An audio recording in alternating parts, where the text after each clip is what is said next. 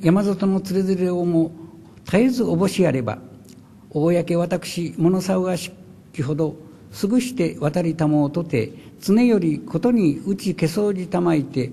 桜の恩の押しにええならぬ恩ぞ引き重ねて抱きしめ相続たまいてまかり申ししたもう様。くまなき夕日に糸どしく清らに見えたもうを女君ただならず見立て祭り送りたもう。姫君は言い訳なくお恩差し抜きの裾にかかりて舌い聞こえたもうほどにとにもいでたまいぬべければ立ち止まりて糸哀れとおぼしたり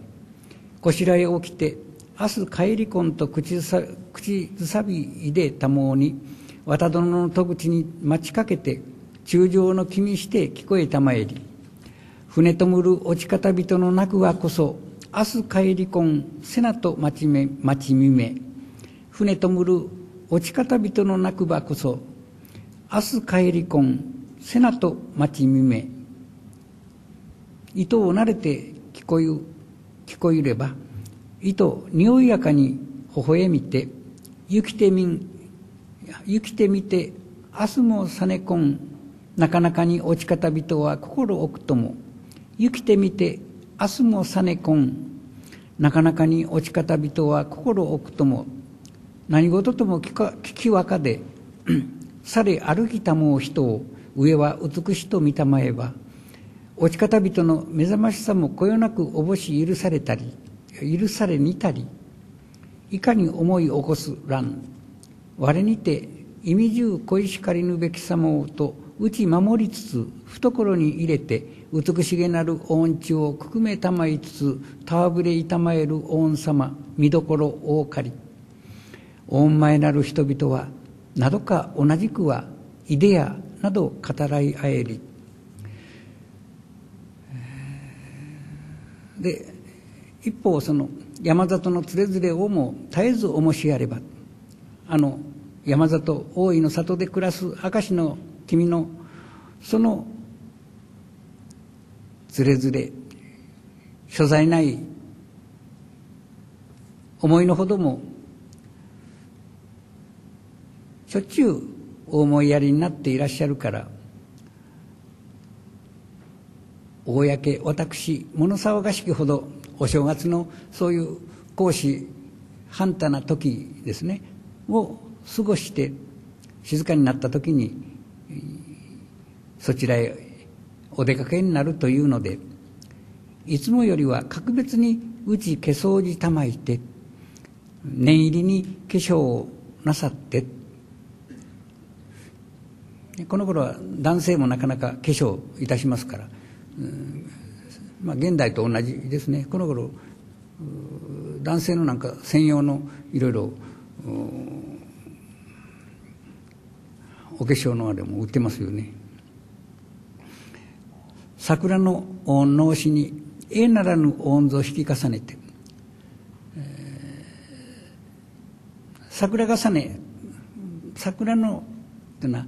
ただ単に桜色じゃなくて桜重ねの脳死ですね、えー、貴族の装束のその脳死。桜重ねの脳死に、えー、なんとも素晴らしい音像を引き重ねて上の絹をお重ねになって甲を抱きしめ相続たまいてきちんと装束を正式に身にお付けになってそして、えー、まかり申したもう様紫の上のところへこれから出かけますよと。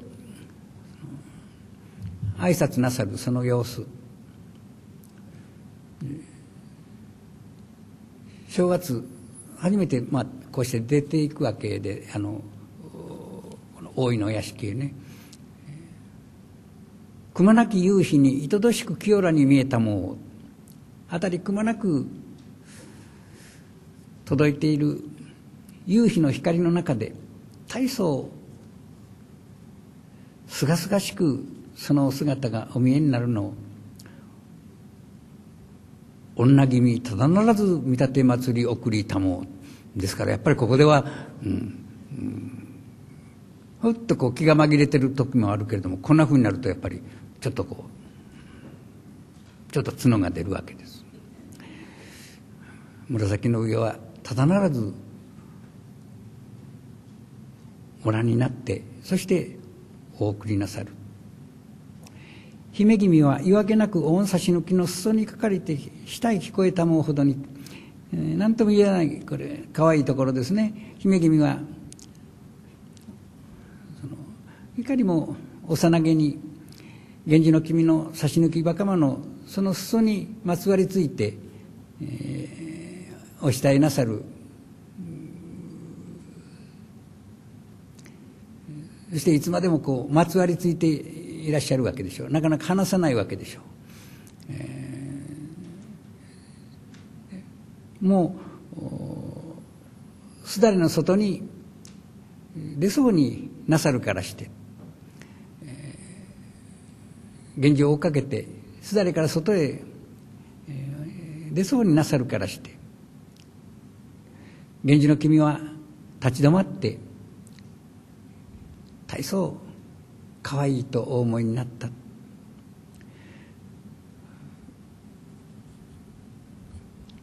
こしらえを着てなだめておいて。だから後を追う姫をなだめておいて。で明日帰ってくるよ。と。これはここがまた引き歌が何とも言えず働いているところなんですが。明日帰り婚と口ずさんでお出かけになるわけですがこの「明日帰り婚」っていうのは下にその皆さんで出てますでしょうけれども西原の西原っていうのはねあの神楽歌よりもさらに今までにも出てきましたけども砕けてそして民謡風な歌謡風な面白みがあるわけですよね。演劇的な面白みがあるわけで、えーこれは桜人という西原桜人その船とどめ始末田を戸町作れる見て帰りこんややってのは、まあ、林言葉ですがそよや明日帰りこんそよやことをこそ明日とも言わめ落ち方につまざるせなは明日もさねこじやそよやさ明日もさねこじやそよや。この西原の「明日帰り婚」っていうのを口ずさんで出かけていくわけです。かっこいいですね。どうしにいい気だないい気なもんだなと思い思いますけれども。桜人っていうのはね格別そのこういう歌謡で桜人って言われるとなんか桜をかざしてこう出てくるような人を感じますけれども、うん、これは西原でおそらく桜人は、桜をかざして出てくるなんていうよりもなんかあの地名かなんかなんでしょうがね。あのその船とどめと言ってるわけですからなんか海岸の地名かなんかなんでしょうが。桜人よ。その漕いでいる船をとどめなさいよ。島の田んぼを戸町作れる島の田んぼを十丁部作っている。その様子を見て帰ってこよう。そうそれよ。明日帰ってこよう。そや。ことをこそ明日とは言わめ。まあ口は明日と言ってるけれどもさ。ここで一つあの元歌。ね。それから末歌が後半部ですが「落ち方につまざるせなの」遠いところに妻を持っている男は明日もさねこじや明日本当に来ると言って来ないことよ。そういうや。さあ明日もさねこじやそよや。とこううんなんか後半はえらく気を持たせた言い方で「うん明日帰り込ん」というふうに言ってるけれども実は明日当てにならないっていうな感じなんです。うんその西原を口ずさんで、えー、お出かけなさるその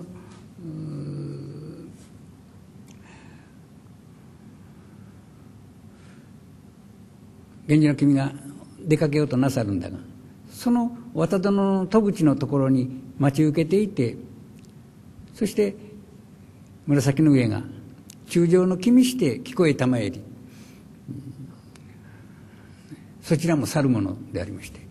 えー、そう簡単にはあのお出かけさせないわけですが。中将の君っていうのはあの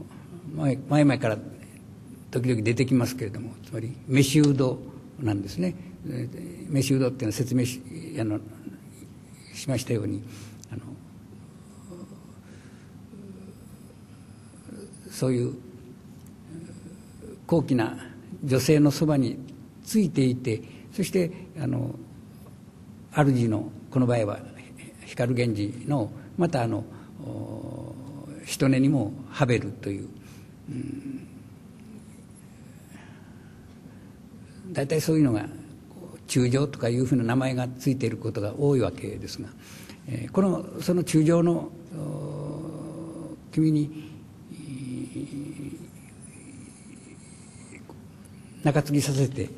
そして、え、歌を差し出したわけです。紫の上が歌を差し出したわけです。船とむるお力人の泣くはこそ明日帰りこん瀬名と待ちみめ。あなた様明日帰りこんとおっしゃいますけれども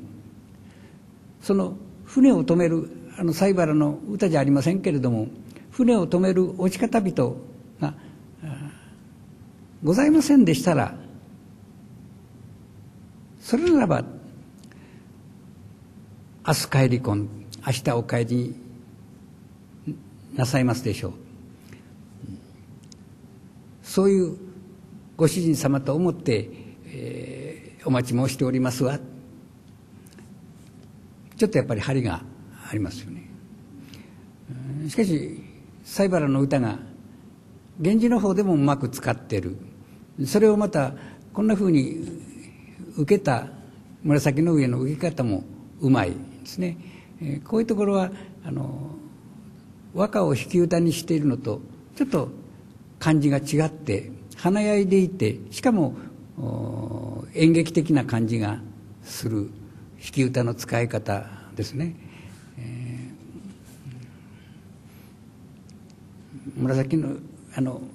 紫式部さんもなんか面白がって、えー、こう乗ってやってるっていうような感じがするところです。で体操慣れて慣れた物言いでおっしゃるからして、えー、現地の奇妙大層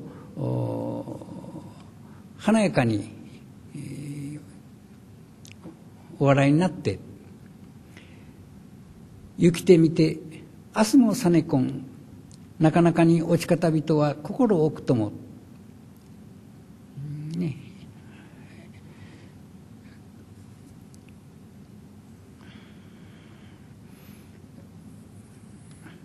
やっぱりあの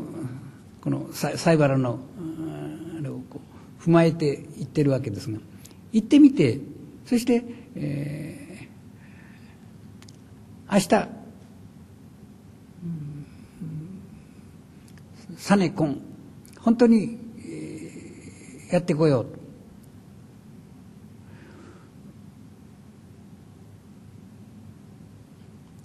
落ち方人は心を置くともその落ち方にいるその人は、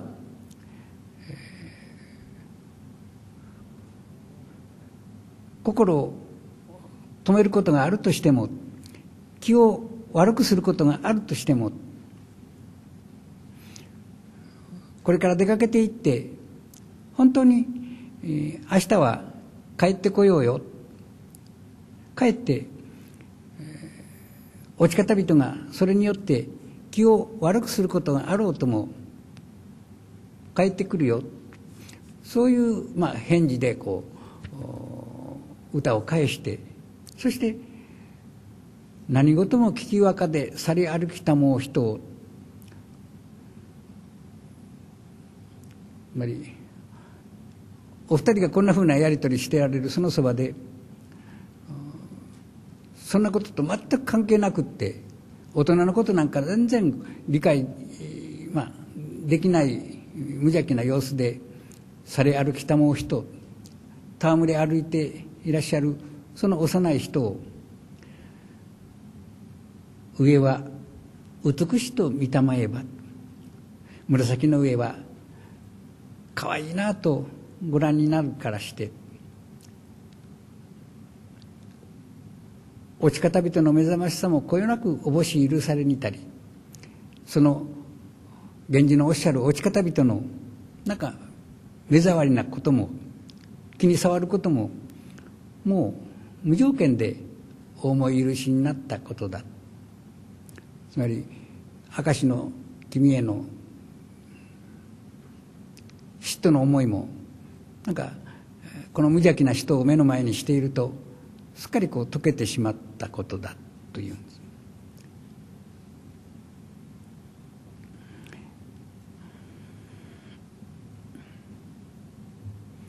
いかに思い起こすらん我にて意味中恋しかるべき様をと打ち守りつつ懐に入れて美しげなる恩地をくくめたまいつつ戯れいたまえる御様見どころ大借り。こんな愛しいものをその母親はどんなに思っているだろうかしらどんなに思いやっているだろうかしら。